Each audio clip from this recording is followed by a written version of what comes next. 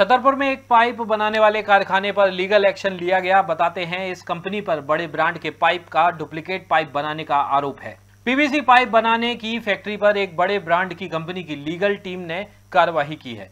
Court के आदेश पर यह कार्रवाई की गई है। ब्रांडेड कंपनी के हुबहू पाइप बनाने पर कोर्ट ने रोक लगाई है। फैक्ट्री मालिक का आरोप, किसी तरह का कोई डुप्लीकेट पाइप नहीं बनाया जा रहा है। मेरे पास पाइप बनाने के पूरे दस्तावेज़ हैं, जबकि ब्रांडेड कंपनी की लीगल टीम ने कोर्ट के आदेश पर कथित पाइप बनाने पर रोक लगाई है और स्टॉक को भी सील कर दिया है।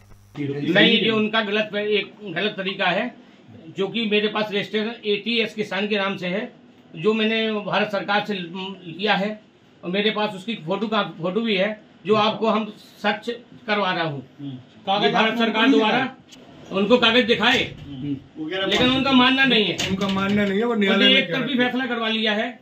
और मेरे पास ज़बरदस्ती आ गई काफ़ी टाइम से शिकायत मिल रही थी कि यहाँ पे एटीएस किसान के नाम से हमारे ब्रांड को डुप्लीकेट किया जा रहा है, जिसके बाद हमारी इन्वेस्टिगेशन टीम ने इस पूरे प्रेमाइसिस को इन्वेस्टिगेट किया और प्रोडक्ट को खरीद के हमने दिल्ली डिस्ट्रिक्ट कोर्ट में एक वाद दायर किया, जिसमें कोर्ट को ये बताया कि हमारा ये रजिस्टर्ड ब्रांड है और यहाँ पे काफ़ी टाइम से इस नाम के आगे जोड़ के एटीएस वर्ड बेचा जा रहा है, जिसके बाद कोर्ट ने हमारे और इनके सारे डॉक्यूमेंट को वेरीफाई करते हुए आज से इस ब्रांड को मार्केट में बिकने के लिए रोक लगा दी गई है सर